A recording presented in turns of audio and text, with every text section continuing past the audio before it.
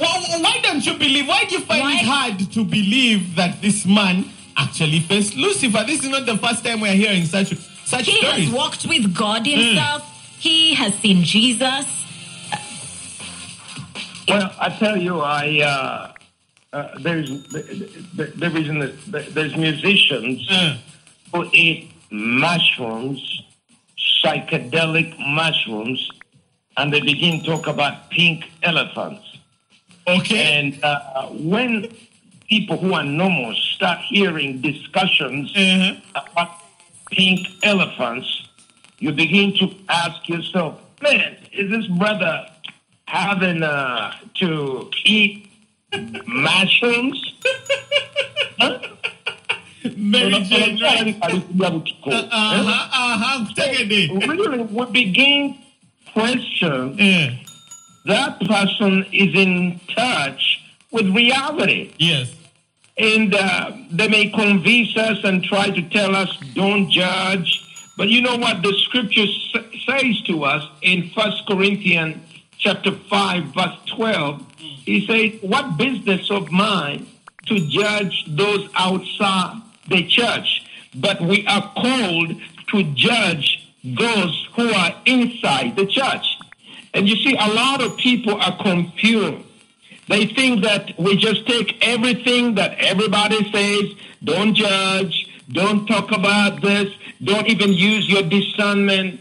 That's wrong. Mm. In fact, I just want to put this down because I saw some of the people Twitter feed when when I posted my promo that I was going to be doing an interview. Mm.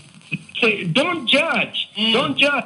But I got to read the scripture. That is First Corinthians chapter 5, mm. verse 12. Mm. When you do have a problem person, Paul says this What business is it of mine to judge those, to judge those outside the church? Are you not to judge those inside? Within the church. See, God will judge those who are outside. Yeah. Okay, but we are to expel mm. the wicked man mm. among you.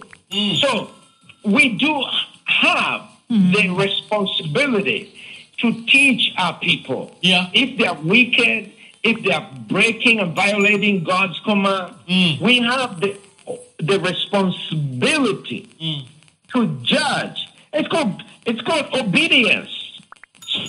Really, as I look at this issue, this man is telling us that he is uh, fighting with uh, uh, Lucifer, and he goes and has breakfast with Jesus, and then he sits down and have a meeting in State House of God.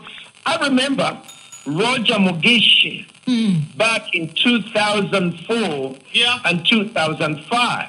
Okay, Roger Mugisha told us that people who go underwater and then they have meetings with Lucifer. So I'm really wondering where Elvis is having meetings with Lucifer. is it underwater? Yeah.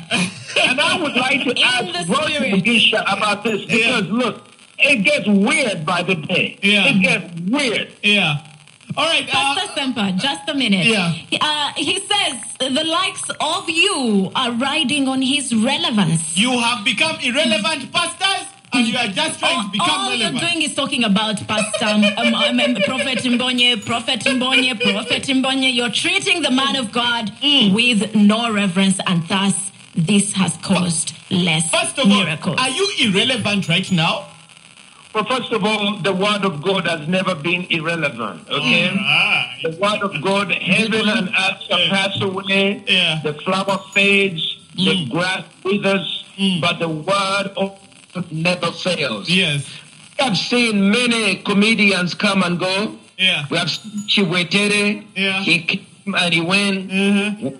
In popular men who have been on the scene. I mean, they've, we've got a crop of called uh, these are the, the, the, these are social so, what what is social what so, so, social influencers, mania socialites. So we we got a crop of socialites, Yeah, okay? yeah. Hmm. Uh, they drive around Range Rovers. Hmm. Uh, they they have people who sing their praises. Hmm. They hire to get media on highly visible TV stations. Then everybody talks about them. Yeah, Okay, yeah. we've seen them. Okay, come and they go. Now, but the word of the Lord never changes. North is north. God is the only one to be worshipped. Yes. So if you're going to come out and get on television and you're going to call people, come and bow down and worship me at my feet, that's outrageous. Mm. You're going to expect my outrage. I live by a simple command. I obey what God tells me to do. Mm. Mm. And if anybody is going to be outrageous and do something outrageously stupid, expect my outrage. Yes, yes, So yes. we are outraged Yeah. our young people Mm. are bowing down to worship Elvis Presley. Yeah, it's That's just wrong. all right. Let's, uh, wrong. let's Even Jesus, Yeah. listen, Jesus came into the temple. Mm. He found people were dealing, people were dealing in the temple. Jesus had to get a cane. And he's like, what are you guys doing here? Get out. Get Let's out do of here. this. Let's do this, well, Pastor. We're gonna have, there are some calls that are coming through. There are some calls that are coming through. We're going to try and take calls for you. Uh, some listeners are calling in and they want to ask questions. Hello, good morning. Good morning. How are you? Good. Uh, Bashir, you want to talk to the pastor? Uh, no. Oh, oh, oh, carry on with your comment. Um, there is no one who has the right to talk about Elvis Mbonye Why? Why? uh, because he's irrelevant. He's irrelevant. No. No, let me tell you one thing. yes. You see, uh, most of the pastors here you see, Yes.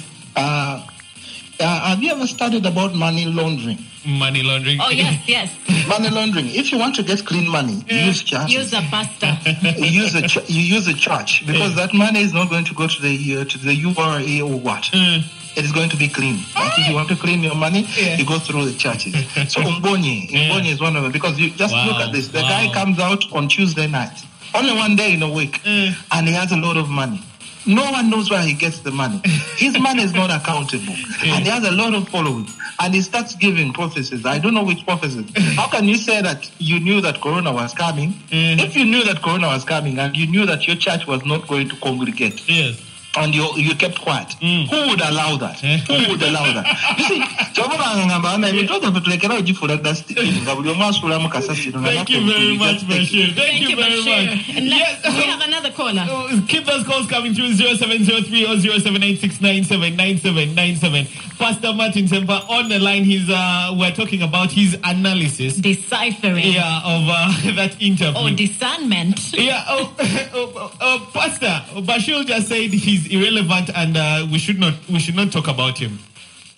Well, listen, I think that Elvis needs to be addressed. Yeah. We cannot ignore him.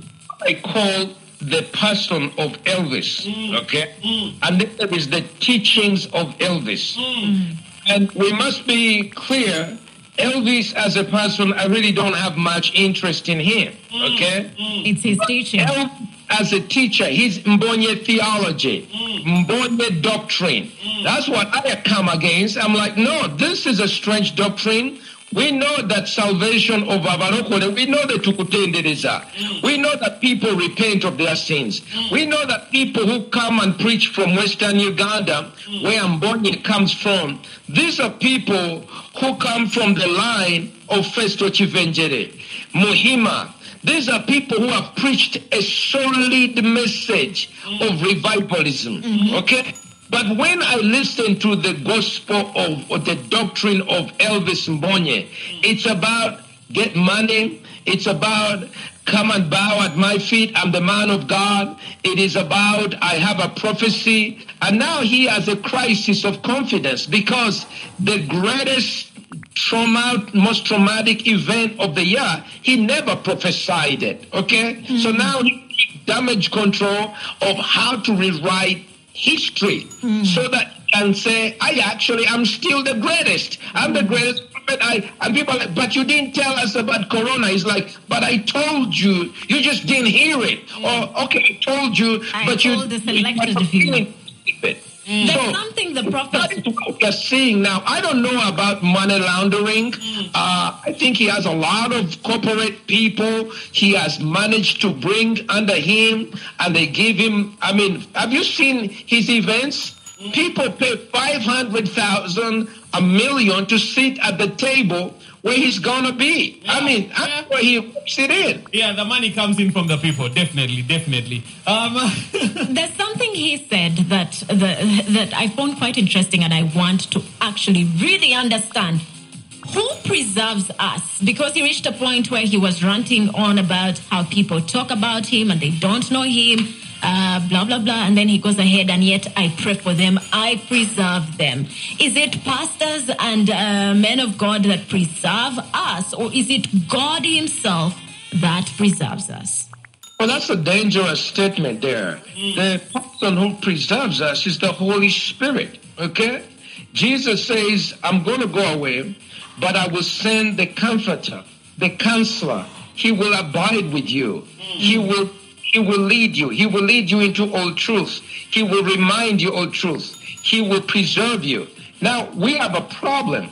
Elvis Mbonye is substituting himself for the Holy Spirit. Hmm. So now we got a problem that he's substituting the role of God the Father because God the Father is the one to be worshipped.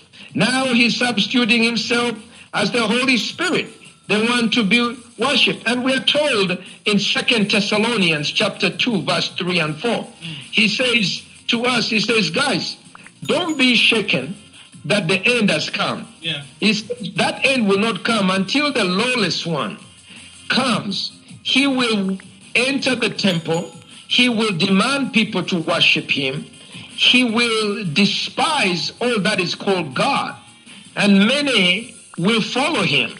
In the God talks to us about the spirit of delusion. Mm. This, that they will that they will be falling away. There's a, there's a lot of people falling away in Dugwa. There's a lot of people, man. We gotta cry out to the Lord. Mm. There's a people come back to the Lord. Mm. Stop worshiping a man. Mm. It's time to turn to Jesus. And anyone who's listening this morning to this breakfast, we got breakfast for your musical ears. Mm. We got breakfast for your heart. Mm. It's time to turn and be saved in this quarantine. It's time to tu- stop worshiping man who is covering himself in prophecies. You need the word of the Lord. You need you need to hear from God directly. Otherwise, like Jesus says, many false prophets will come in my name. Yeah. They will claim that they are the one.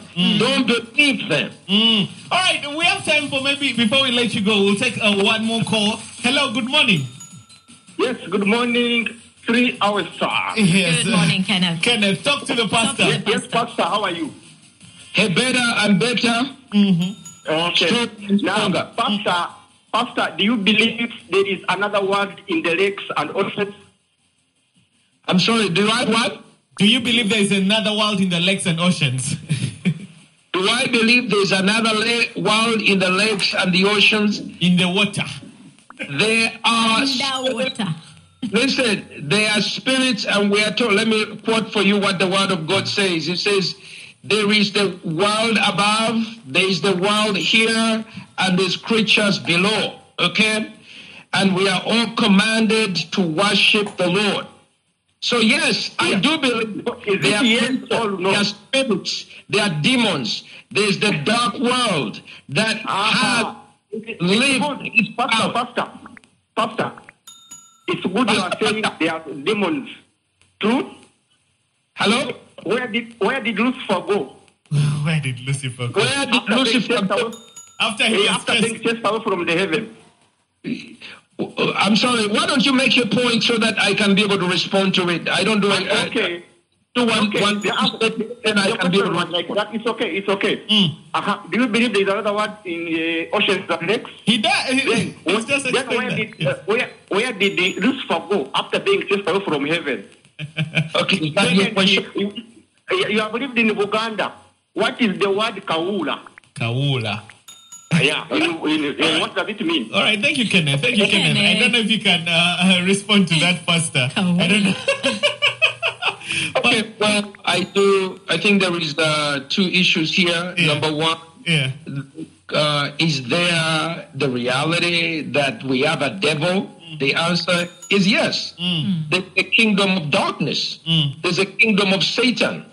In fact, back in 2004, when Roger Mugisha got saved, he came and told us mm. there's a well organized system of the Antichrist who operates somewhere in the underworld. Mm. He had a well organized machinery. Mm. He had a plan to deceive the world and to totally thwart the plans of God, including what we see as homosexuality, including this uh, sexual sin, including deception, false prophets. Mm. He told us many things. Yeah. So the brother, I think I can answer that. Now he asked me about Kawula. Mm-hmm. Okay, I don't know Kawula. Mm. Okay, but what I know is that we do have in the Buganda system, there is also Mama Fina system, Kulanama, okay, worship of Misambwa, worship of Mayembe. Yeah. Look, this is where we are coming from. Mutesa, in writing the letter to call for the missionaries, he said to the, the missionary, he says, we are in the darkness. Tuli mukizikiza. Hmm. Bring light. Hmm. And so celebrating the coming of the light, and I tell my Baganda tribesmen, hmm. it's time to return to the light of Jesus Christ. Yeah. Let's not go back to the demons. This, now I see Mama Fina is fighting with Kulanama over that hill called Waluse, which has powers that are supposed to be the ones that make the king. Oh, Okay? yeah. Not far from that is the hill that is called Sempa. And that is why uh, I decided I have changed my name from Sempa Yeah. to Gabriel Baba, Baba. Wanga Mujendi Yesu. All right. So Okay. Yeah. I just want to announce, uh, thank you for that question. Yeah.